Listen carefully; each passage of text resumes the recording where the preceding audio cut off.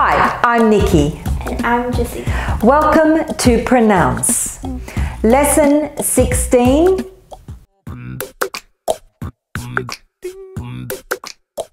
Okay, Jessica. Say this sound. E. Good. And this sound? Uh. Good. E. Uh. Good. I want you to, I'll take this sound, I'm going to give that to you. What's the sound? E. Good. And I'm going to take this sound. What's my sound? Uh. Good. Your sound? E. My sound?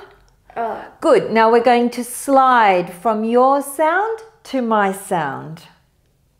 E. Good. E. Good. Now say your sound a little longer, hold your sound a little more, and then say a little bit of my sound. Let's go. E. Good.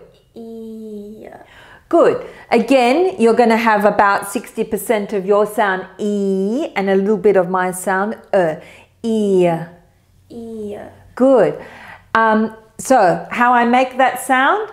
I take your sound E and my sound E and I put them together and I have a new sound ear. E. Ear. E. Good. Jessica, take the sound. Where do you think it goes on the chart? Ear. I think it goes from here. Correct, ear. It goes there. And it sounds a little bit like an English person with a Cockney accent saying, ear, come here. like, ear, come here. We say here, but ear. Yeah. Yeah? Yeah. Ear. Yeah. Well done, Jessica. Excellent.